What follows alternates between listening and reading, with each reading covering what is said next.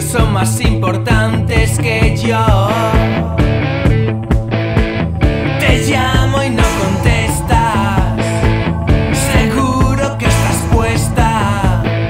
Creo que tu problema es un problema sin solución. No sabes qué hacer. No sabes qué